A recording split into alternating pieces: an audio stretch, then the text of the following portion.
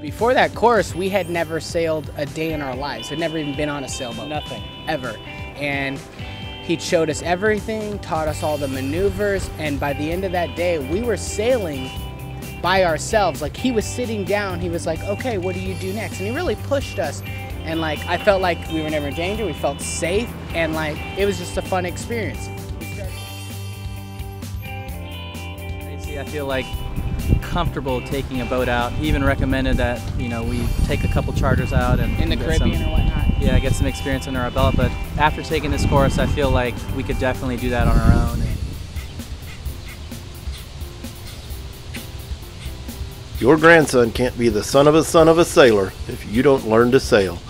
Sign up for your sailing lessons today at windwardseaventure.com.